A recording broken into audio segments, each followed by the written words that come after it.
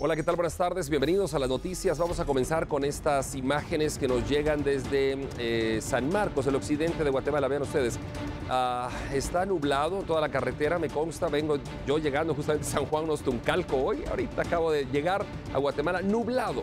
Esto es San Marcos, lo que nos están eh, pues enviando nuestros compañeros mm, corresponsales de allá de San Marcos. Hay mucha niebla desde Chimaltenango, ¿sabe? Desde el paso eh, el libramiento de Chimaltenango, la neblina está presente en la carretera. Tenga mucho cuidado. Usted llega a Tepán con neblina. Usted sigue a la cumbre de Alaska con neblina todo Sololá, neblina, eh, en fin, la ruta interamericana desde San Marcos hasta Guatemala, hasta Chimaltenango, mejor dicho, está así. Así es que maneje con precaución, evite accidentes de tránsito. Y no solamente en ese sector, nos han reportado en varios sectores, también aquí en algunos sectores de Ruta El Salvador, neblina, sectores de San Lucas, Zacatepeques, neblina. Así es que con cuidado. Así comenzamos esta emisión con estas imágenes desde San Marcos.